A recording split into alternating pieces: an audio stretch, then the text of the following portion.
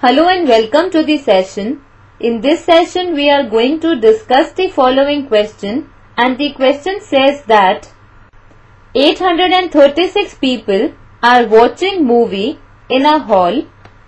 If the hall has 44 rows, how many people can sit in a row? Let us start with the solution of the given question.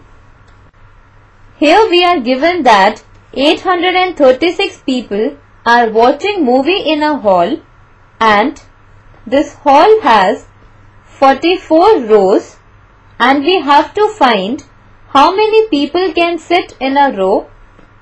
So we write total number of people watching movie in the hall are 836 and number of rows in the hall are equal to 44 it means we are given number of people sitting in 44 rows are equal to 836.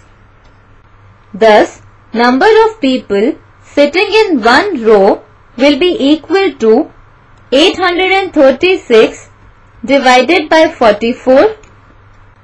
So now we divide 836 by 44.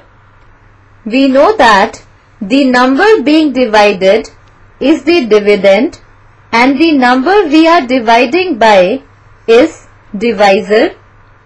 So inside we write the dividend that is 836 and outside we write the divisor that is 44. So now we divide see 44 into 1 is 44 and 44 into 2 is 88. Since 44 is less than 83, so we will go by 1 in quotient. So we write 44 below 83 and subtract. Now 83 minus 44 is equal to 39. Now we bring down 6 so we have the number 396. Now 44 into 9 is equal to 396. So we go by 9.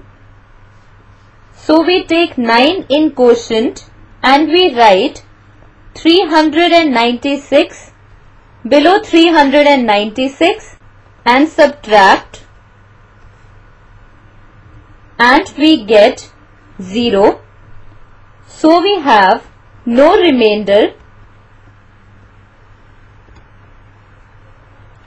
and in quotient we have 19